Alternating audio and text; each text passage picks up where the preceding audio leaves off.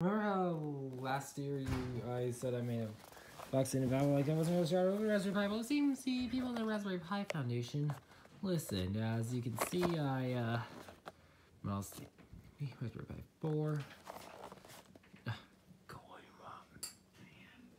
Okay, as you can see, uh, they updated. See, they uh, see, they gave me instructions. Uh, let's okay. I haven't yet. Hmm, there it is.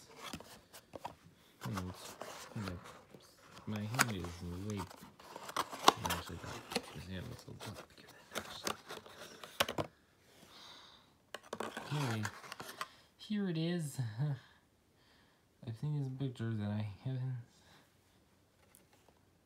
hmm, yeah, looks mostly the same. And here's the USB-C port now and the two video outputs.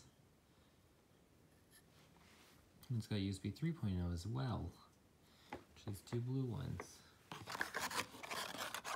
Hmm, not sure where to, what we should do. What's this here?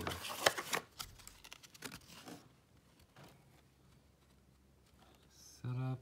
Um, what you do? I guess, and here is uh, quick start guys. Probably mostly I'm not gonna open this as I suspect it's mostly as the previous Raspberry, as the re previous Raspberry Pi. Hmm. You have a birthday?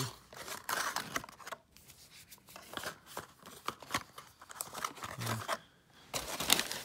Oh, that's- there it is. Uh, yeah. I it. Let's see. Oh, what I didn't mention was that this that the SD cards. And I might need to get a micro HDMI cable since well, it's got two micro HDMI outs, and uh, hopefully I have a high enough power supply. It says I need 15. The official requirements say it needs 15 watts, but I'm not hopefully could get I can survive off less. Anyways, that's it.